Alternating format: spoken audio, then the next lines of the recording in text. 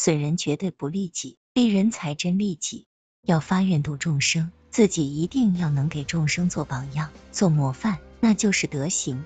众生为什么受苦？因为烦恼不断，见思烦恼天天在增长，天天在扩大，这个事情果报就不可思议。所以佛菩萨要做一个好样子，断烦恼。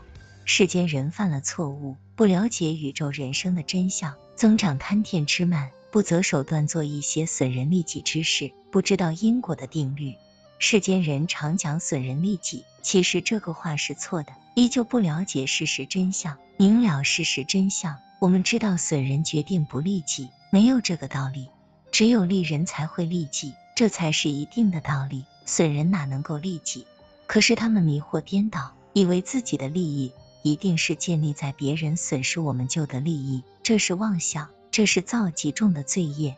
所以了，凡四训我们要推广。让这些人多念念，然后才晓得每一个众生一生一饮一啄，莫非前定。你用不正当手段夺得来的，依旧是你命中所有的。你命中没有，你试试看，你去抢人家，看看你能不能抢得到。你命里头没有，你还没有动手，已经被警察抓去了。换句话说，你能够偷得到，你能够抢得到，你能够霸占得到。统统是命中所有，不用这些手段也能得到，那你何苦？所以明白人常讲君子乐得做君子，小人冤枉做小人。